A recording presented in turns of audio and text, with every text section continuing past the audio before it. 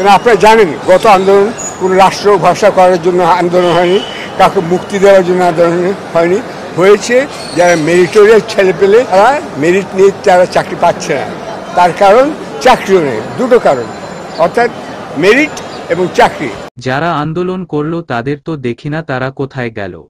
Shafiqur Rahman doctor ইউনুসের জাতিসংঘের বক্তব্য নিয়ে আলোচনা করেছেন। সাংবাদিক মহলে তিনি বলেন যে তিনি ডক্টর ইউনুস যখন জাতিসংঘে বক্তব্য দিচ্ছিলেন তখন সেখানে দুটি কথা তিনি উল্লেখ করেননি। সে দুটি কথা তিনি সাংবাদিক মহলে আলোচনায় এনে বলেন, যারা দেশের এমন পরিস্থিতিতে আন্দোলন করল, কই তাদেরকে এখন দেখা যাচ্ছে না কেন? এই আন্দোলন তো কাউকে মুক্তির জন্য ছিল না, কিংবা ভাষা আন্দোলনও ছিল না, তাহলে কেন হয়েছিল এই আন্দোলন?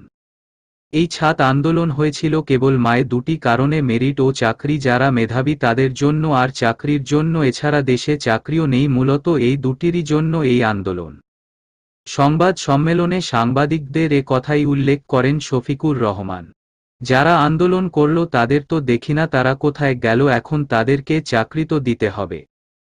তিনি বলেন, সাংবাদিকদের আরে ভাই, প্রশ্ন করুন না, এই দেশের উপদেষ্টা ও সচিবদের তারা গত এক মাসে কজন আন্দোলনকারীকে চাকরি দিয়েছেন, এরা কি আদৌ চাকরি পেয়েছে? কজন আন্দোলনকারী মেধাবী শিক্ষার্থী সাংবাদিক আজ চাকরি পেল? জবাব দিতে বলুন, শফিকুর রহমান বলেন, এখন আমি তো বলতেই পারি যে যারা এখন দেশের দায়িত্বে আছেন, এরা অবৈধভাবে বসে আছে, এদেরকে বলতে হবে, এই এক মাসের ভিতর আমরা এক হাজার বা তার অধিক লোককে চাকরি দিয়েছি, এরা কি বলতে পারবে? মেধা অনুসারে চাকরি দিয়েছি কোন লোকেদের কিংবা শিক্ষার্থীদের।